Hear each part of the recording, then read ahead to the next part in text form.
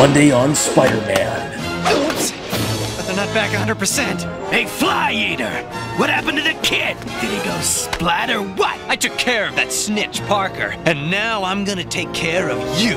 Right. For starters, I might just drown you in nervous sweat.